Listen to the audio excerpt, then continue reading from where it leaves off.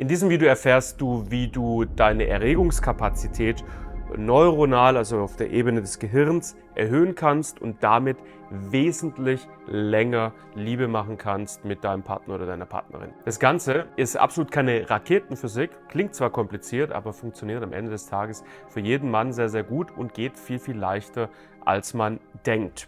Also, lass uns einsteigen. Dein Gehirn sorgt aktuell dafür, dass bei dir der Höhepunkt sehr, sehr früh eingeleitet wird beim Liebemachen mit deinem Partner oder deiner Partnerin. Das ist dein aktuelles Problem. Und dein Gehirn trägt eben in sehr, sehr großem Maße dazu bei, dass es aktuell so ist, wie es ist. Wir erklären das anhand von einem kleinen Beispiel. Stell dir vor, du baust einen Stromkreislauf auf. Ja? Du hast einen kleinen selbstgebauten Stromkreislauf und an einer Stelle dieses Kreislaufes ist der Kreislauf verbunden über einen dünnen kleinen Draht. Okay? Vielleicht kennst du das noch von damals aus dem Physikunterricht, da hat man das manchmal gemacht. Jetzt fängst du an, durch diesen Kreislauf Strom durchzujagen. Und zwar nicht nur ein bisschen Strom, Strom sondern richtig starken Strom. Was ist es, was als allererstes passiert? Nach wenigen Sekunden. Nach wenigen Sekunden kannst du davon ausgehen, dass dieser dünne Draht, also diese dünne Stelle dieses Stromkreislaufes, durchglüht. Ja, weil der Strom ist zu stark und dieser dünne Draht kann diesem starken Strom nicht standhalten, glüht durch. Der Stromkreislauf ist kaputt. Und das ist metaphorisch gesprochen aktuell genau das, was beim Liebemachen mit deiner Partnerin und deinem Partner passiert. Die Stelle in deinem Gehirn, die dafür zuständig ist, die Erregung und die, die Lust und die Geilheit zu verarbeiten und weiterzuleiten, die ist dünner Draht aktuell. Sprich, du jagst durch dein Gehirn, metaphorisch gesprochen, Starkstrom durch. Das weißt du selber, ne? wenn du ins Liebemachen äh, reingehst mit deiner Partnerin, ist da wahnsinnig viel Lust, wahnsinnig viel Anspannung, extrem viel Vorfreude. Ja? Also das ist ganz, ganz viel Strom auf der Leitung. Und erstmal relativ viel Strom auf der Leitung zu haben, das ist erstmal nicht schlimm. Das ist ja ein schönes Gefühl. Das Problem ist jetzt in dem Moment, wo du in deinem Intimbereich berührt wirst, wo äh, deine Partnerin dich vielleicht manuell stimuliert mit der Hand oder mit dem Mund oder du vielleicht auch in sie eindringst. In dem Moment wird es, dauert es nicht lange und es wird einfach zu viel und dein Gehirn sagt, so jetzt ist Sense, der Draht glüht jetzt hier durch und ich leite jetzt den Höhepunkt ein. Und jetzt ist natürlich die Frage, warum ist es aktuell so bei dir und wie kann es sein, dass es bei anderen Männern anders ist? Die gute Nachricht vorneweg ist, so wie das aktuell bei dir ist, so muss es nicht bleiben. Man kann es verändern. Es gibt Strategien, Methoden, wie man es verändern kann. Da komme ich später im Video auch noch drauf zu sprechen. Aber jetzt ist die Frage erstmal, warum ist das so bei dir? Es gibt einen Grund dafür, dass der Draht in deinem Gehirn, der für die, für die Erregungsweiterleitung gewissermaßen zuständig ist, aktuell sehr, sehr dünn ist.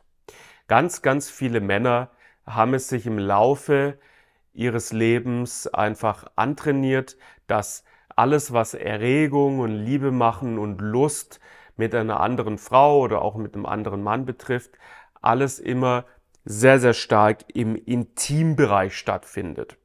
Das heißt, wenn du, wenn du Liebe machst mit einer Frau, wenn du mit deinem Partner oder deiner Partnerin im Bett bist, geht es in deinem System ganz, ganz schnell immer nur noch um das beste Stück nur noch um diesen Intimbereich. Der Rest deines gesamten Körpers findet nicht großartig statt. Ja, das kommt zum Beispiel daher, wie wir anfangen, uns als Jugendliche und junge Erwachsene selbst zu berühren. Wenn wir Selbstbefriedigung betreiben, kümmern wir uns in aller Regel nur einzig und allein um unser bestes Stück. Der Rest des Körpers findet nicht statt. Und so konditionieren wir uns darauf und konditionieren unser Gehirn darauf, dass es beim Liebemachen nur um das beste Stück geht. Und das ist im Prinzip das, was dann diesen dünnen Draht letztendlich ausmacht.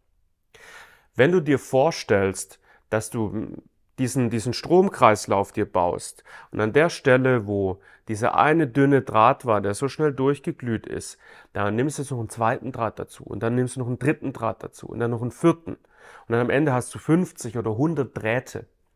Und diese Drähte, die bilden wiederum einen dicken, dicken Draht jetzt letztendlich. Und jetzt jagst du da Strom durch. Dann wird dieser dicke Draht, der aus diesen 100 dünnen Drähten besteht, diesem Starkstrom standhalten können. Ja?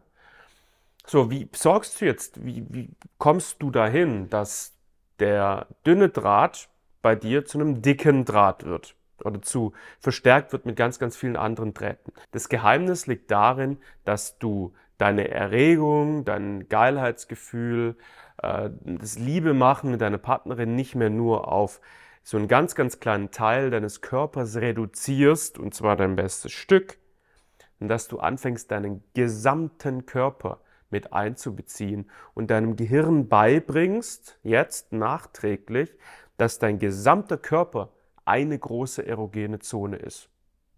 Ja? Dass du ins Liebe machen mit deiner Partnerin reingehst und es geht nicht nur um dein bestes Stück nur noch, sondern hey, was ist mit meinen Lippen? Was mit meinen Ohrläppchen? Was mit meinem Hals? Was mit meinem Nacken? Was mit meiner Brust? Was mit meinem Bauch? Was mit meinen Nippeln? Was mit meinen Beinen? Was mit meinem Rücken? Was ist mit meiner Kopfhaut? Was ist mit meinem Po? Was ist mit meinen Oberschenkelinnenseiten? Der ganze Körper ist eine große erogene Zone. Und aktuell ignorierst du den ganzen Körper komplett. Es geht wenn es darum geht, die Erregung zu steigern, wenn es darum geht, Lust zu empfinden, wenn es darum geht, hey, worauf konzentriere ich mich beim Liebe machen eigentlich? Immer nur um dein bestes Stück. Und das ist mit ein Grund dafür, dass du zuverlässig zu früh kommst. Das Ding ist jetzt folgendes, wenn du es lernst, diesen Draht dicker zu machen, heißt es im Prinzip, dass genau gleich viel Starkstrom durch deinen Körper fließen kann. Also die Lust und die Erregung, die kann im gleichen Maße wie früher einfach in dir aufkommen, aber dein Gehirn ist jetzt in der Lage, das zu handeln. Der Draht glüht nicht durch. In anderen Worten, die Lust in dir drin, die kann immer größer und größer und, und stärker und stärker werden, aber der Höhepunkt wird nicht eingeleitet weil der Draht gewissermaßen noch nicht durchgebrannt ist.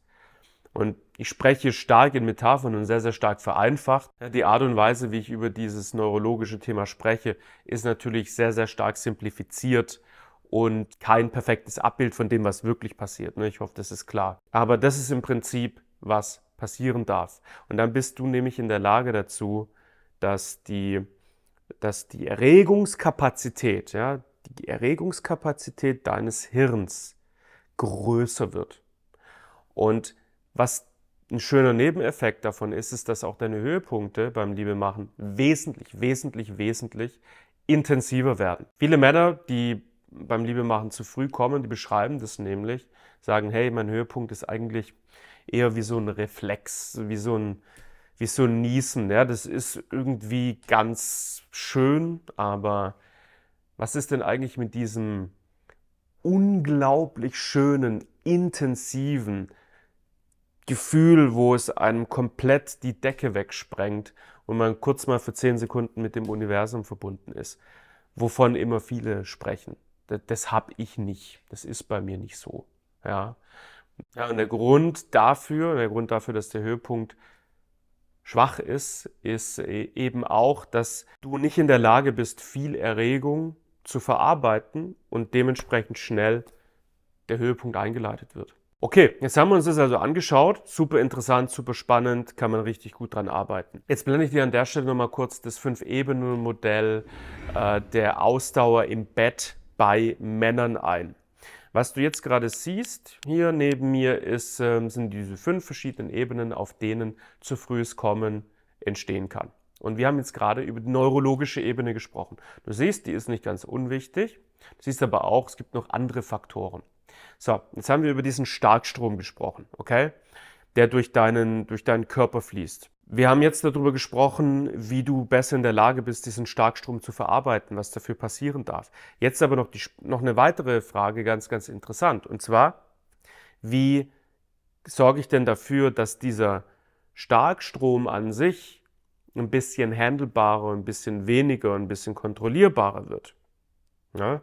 Wie sorge ich dafür, dass diese Erregung in mir nicht von Anfang an so richtig stark durch die Decke knallt, sondern dass es eher ähm, ja, ein kontrollierbares Feuer in mir ist, das ich besser steuern kann. Denn für viele Männer ist es so, dass sie äh, auf der mentalen Ebene mit sehr viel Anspannung in ein Liebesspiel mit einer Partnerin oder Partner reingehen. Also da ist häufig eine negative Anspannung, ein Druck, eine Versagensangst, eine Nervosität, ja, die, die Angst, jetzt gleich die Partnerin zu enttäuschen und sich selber auch zu enttäuschen. Und auf der anderen Seite ist aber auch eine, eine, eine, eine extrem kindlich vorfreudige Anspannung mit am Start. Sprich, der Mann freut sich so unglaublich, es ist so eine riesige, unbändigbare Erwartung auf Erregung und auf Zärtlichkeit mit diesem tollen Wesen, mit dieser Frau am Start, dass der Mann einfach relativ stark überstimuliert ist. Und das sind einfach zwei Faktoren, die dafür sorgen, dass dieser Starkstrom einfach sehr, sehr dominant ist. Also dass die Erregung ganz, ganz schnell in die Höhe knallt. Es ist einfach die mentale Anspannung. Egal, ob das eine positive mentale Anspannung ist oder wie bei ganz, ganz vielen Männern eben diese negative mentale Anspannung.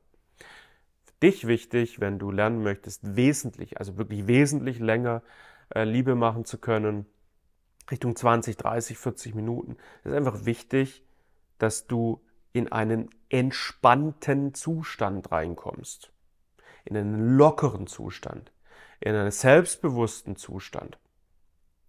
Und das ist eben die mentale Ebene, die du siehst, siehst du in diesem Fünf-Ebene-Modell sehr, sehr stark repräsentiert ist. Das ist eine ganz, ganz wichtige Ebene. Und dann gibt es noch weitere Ebenen, die gehe ich an der Stelle nicht mehr detailliert ein. Da verlinke ich dir aber unter diesem Video ein Video, wo ich auf all diese unterschiedlichen Ebenen äh, nochmal ausführlich eingehe. Wir haben über die letzten Jahre tausende Männer betreut und dabei begleitet, eine starke Ausdauer im Bett aufzubauen, 15, 20, 30 Minuten. Das ist für die meisten Männer alles sehr, sehr gut im Angebot. Und du hast auch die Möglichkeit, dich von uns äh, betreuen zu lassen. Ähm, und das Ganze im ersten Schritt tatsächlich auch kostenlos. Dazu musst du einfach nur unten auf den Link in der Videobeschreibung klicken. Da hast du die Möglichkeit auf ein kostenloses Beratungsgespräch mit entweder mir oder einem der Experten in meinem Team. Da können wir uns deine Situation angucken und erarbeiten, was bei dir passieren darf, damit du dein Problem gelöst bekommst. Klick dazu unten auf den Link in der Videobeschreibung und dann kannst du dir einen Termin buchen und dann lernen wir uns vielleicht sogar bald persönlich kennen. Danke fürs Zuschauen. Bis zum nächsten Mal. Ciao, ciao.